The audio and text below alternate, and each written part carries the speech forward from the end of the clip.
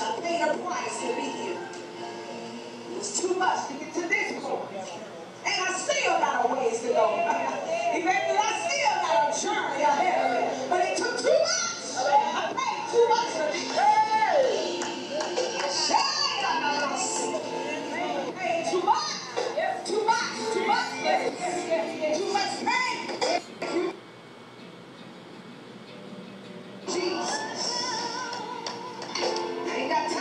Texas.